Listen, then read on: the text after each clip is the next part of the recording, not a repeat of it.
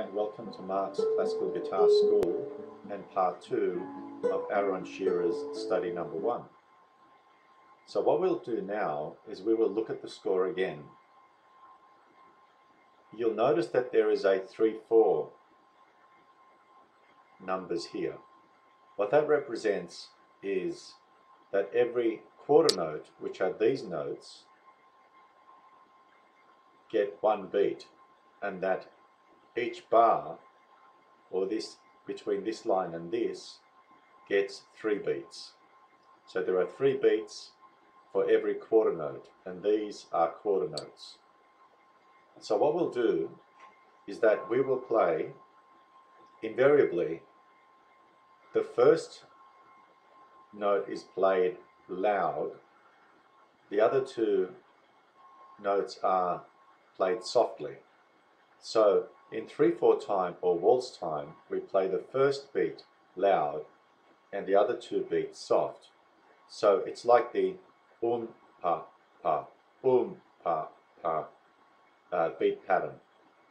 How we'll do that is we will play the first beat in rest stroke.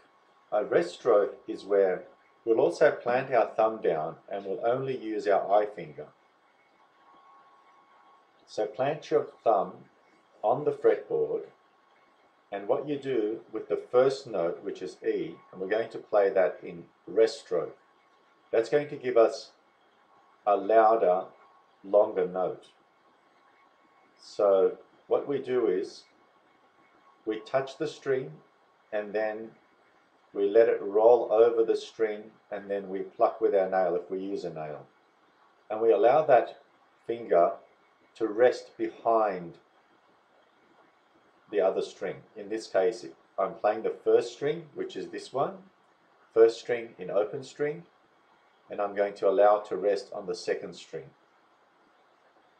So that's a rest stroke.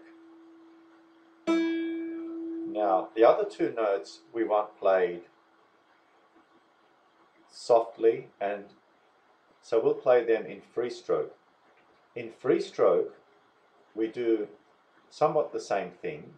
We touch the string, we allow the nail to come in contact with the string, and then we roll back in a circle, almost like as if you were riding a bike, a kid riding a bike, with small spokes.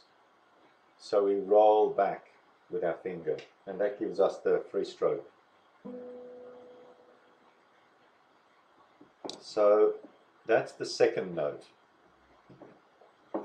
Now the third note, which is this one, is on the third string. So we play, also play that in free stroke. So the total bar, the whole bar, from here to here, should sound like this, with a free stroke on the first string, I mean a rest stroke on the first string, and then two free strokes on the second and third string. Again.